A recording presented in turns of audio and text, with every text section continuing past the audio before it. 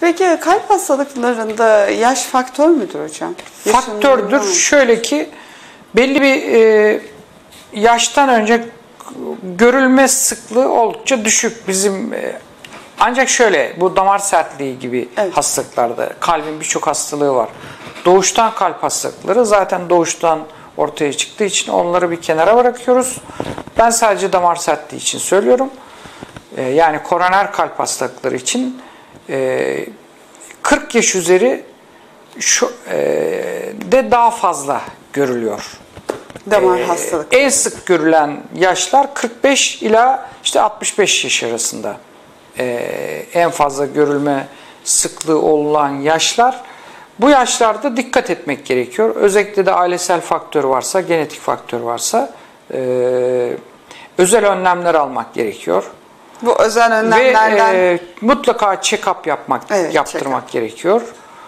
E, işte belli bir yaştan sonra mutlaka ekokardiyografi yapmak gerekiyor. Şimdi giderek bilim ilerledikçe daha ileri teknikler daha az zararlı hale e, gelerek uygulanabilir hale geliyor yavaş yavaş.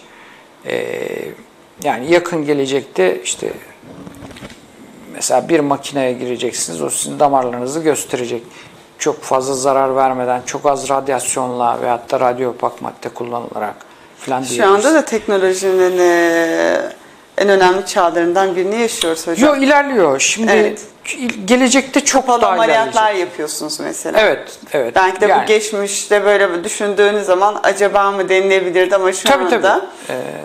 Ee, e, 90'lı yıllarda biz başladık küçük, e, minimal invaziv yani az kesiyle ameliyat yapma girişimlerine ki ilk e, 97'de American Heart toplantısında Amerika'da biz 170 vakayla dünyanın en- o sıradaki en fazla şey yapan serilerinden birini sunmuştuk.